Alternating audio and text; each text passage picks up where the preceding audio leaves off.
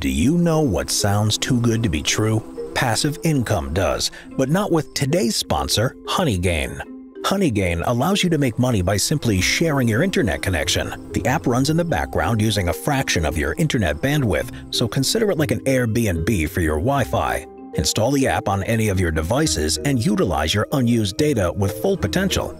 The amount of money you can earn won't be huge, but you can increase your gains with Honeygain's new mode, JumpTask.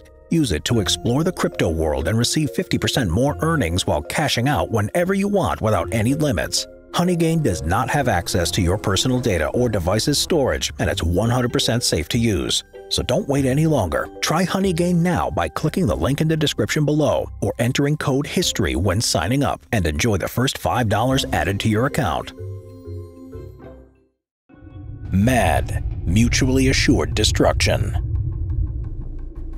What does MAD mean? MAD refers to the full-scale use of nuclear weapons by two opposing sides, resulting in one clear, obvious outcome – mutually assured destruction. The policy of MAD rests on the idea that if two countries or continents are equally as capable of destroying one another through nuclear attack, then there is no incentive for either side to pull the trigger or remove it. MAD can be thought of as a giant game of nuclear war chicken, it's the delicate balance struck between these countries capable of such nuclear warfare that means neither side will use the technology.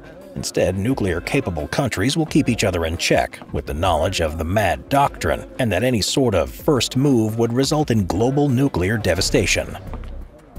Another way to explain how the policy of MAD assures a tentative global nuclear peace is using Nash's equilibrium, Nash Equilibrium proposes that in a game where each player knows the other's strategy, there is no benefit to changing your own. And that's where we find ourselves today, in a world where eight or possibly nine countries are capable of destroying the planet through nuclear war. We just have to hope no one is mad enough to launch the first strike. There are eight countries known to be capable of nuclear warfare, having previously successfully detonated nuclear weapons. They are the United States, the United Kingdom, Russia, France, China, India, Pakistan, and North Korea. There is only one other country that has never publicly announced their nuclear capabilities, although it's widely accepted that they have some nuclear technology, and that country is Israel. Of these countries, the first five, UK, US, Russia, France, and China, are members of the Treaty of the Non-Proliferation of Nuclear Weapons, meaning they're committed to stopping more countries from gaining nuclear power and using their own to create nuclear energy. Very convenient when you already have nuclear weapons yourself. But not all these countries are fully capable of enacting the MAD doctrine. Only countries who have three legs of nuclear power are considered truly capable of MAD, as their own nuclear weapons cannot be wiped out in a single strike. This is known as the nuclear triad, and in essence it means a country capable of launching nuclear weapons from three separate places – the land, sea, and sky. Of the aforementioned eight countries, only five currently have this power, the United States, Russia, China, India, and France. The concept of MAD existed long before the term itself was actually coined by military strategist Donald Brennan in 1962. One of the first references comes from nearly 100 years earlier in 1870. Wilkie Collins, an English author, wrote of the Franco-Prussian War I begin to believe in only one civilizing influence, the discovery one of these days of a destructive agent so terrible that war shall mean annihilation and men's fears will force them to keep the peace. The first ever example of a country owning nuclear weapons was in 1945, when the United States dropped nuclear bombs on Nagasaki and Hiroshima, helping to end World War II while simultaneously beginning the Cold War. Four years later, the Soviet Union publicly announced its own nuclear capabilities to the world by conducting a nuclear weapons test, detonating a bomb called the RDS-1. Upon the launch of the Soviet nuclear test, President Dwight Eisenhower of the United States announced a new strategic concept, the New Look policy, a main component of this new concept was massive retaliation, which argued the U.S. should be willing to use deterrent threats and tactical nuclear weaponry to halt the expansion of the Soviet nuclear program. This marks the start of the first true possibility of MAD. It should come as no surprise to learn that the two countries who have been capable of the nuclear triad for the longest are Russia and the United States. Their development of nuclear weaponry was fundamentally what led to the birth of the Cold War after World War II. The Cold War was a period of tension and political unrest felt worldwide, beginning at the end of the war and continuing all the way up to the late 1980s and early 1990s. There is no definitive end date to the Cold War, although the fall of the Berlin Wall and the subsequent dissolution of the Soviet Union are generally considered to represent the pacification of the conflict.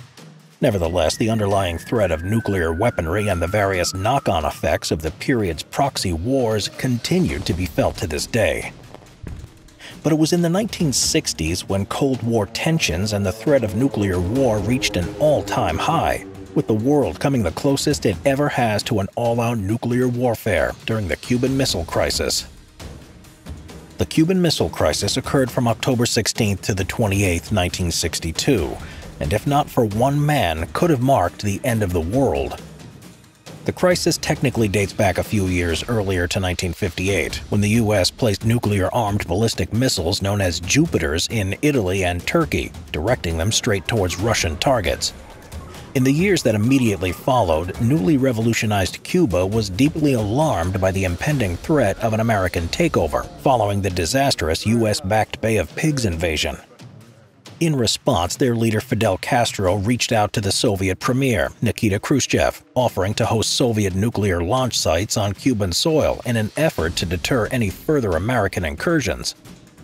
When President John F. Kennedy learned of this plan, he ordered a naval blockade of Cuba on October 22, 1962, kicking off the Cuban Missile Crisis and heightening the possibility of nuclear warfare becoming a reality.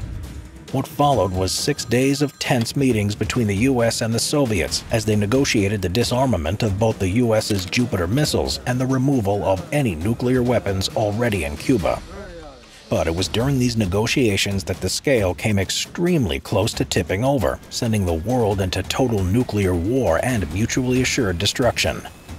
In the midst of these negotiations, when each side was already assessing each other with extreme care, the US did something incredibly risky and a bit stupid. A fleet of US ships near Cuba identified a Soviet submarine lurking below the surface of the water in an effort to force the submarine to identify itself and ignoring the rules of international waters, they began dropping signaling depth charges in an attempt to force the submarine to the surface. The Soviet submarine they attacked was called the B-59, and the crew on board hadn't heard from Moscow in a while. With no knowledge of what was going on above water and now finding themselves under bombardment, the men on board had to make a quick judgment call on if this meant nuclear war had broken out on the surface. The sub's captain, a man named Savitsky, quickly concluded that this meant war had broken out, and he immediately wanted to respond by launching a nuclear torpedo they had on board. But to do so, he needed one other man to agree, his chief of staff and the sub's executive officer, Vasily Arkhipov.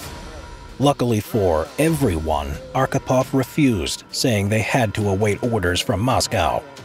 Had he not, and Savitsky had launched that first nuclear strike, the world as we know it would not have survived. The next day, an agreement was reached on the surface between Nikita Khrushchev and John F. Kennedy, in which both countries would disarm their new forward nuclear stages. It was only much later that the world would become aware of how close the two powers had come to destroying the planet. Although Cold War tensions continued after this point, the Cuban Missile Crisis marks the most critical moment on the doomsday clock, in which the world was most likely to have erupted in potential nuclear annihilation. Since the end of the Cold War, there has not been a threat of MAD that seemed truly credible until recent events. But the nuclear-capable countries have continued to research, expand, and evolve their understanding of nuclear warfare the whole world remains in a state of perpetual potential for MAD to occur. And although the original doctrine refers to two countries destroying each other, with the nuclear weapons that exist today, if any country were to truly exercise their nuclear power, it would likely spell the end for humanity.